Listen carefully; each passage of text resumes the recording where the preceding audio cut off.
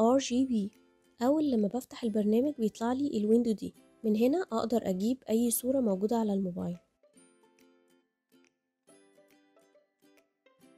هيفتح الصورة اللي هنختارها وهنلاقي في النص دايرة حمراء صغيرة. هنحرك الصورة بحيث إن الدايرة الحمراء دي تبقى على اللون اللي عايزين نعرف درجته أو الكود بتاعه.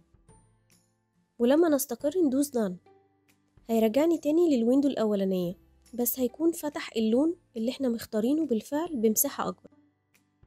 هنا هيديني الكود بتاع اللون وتحت هنلاقي ال R وال G وال B اللي هي ال red وال green وال blue نقدر نتحكم فيهم أو نغير القيم بتاعتهم من هنا.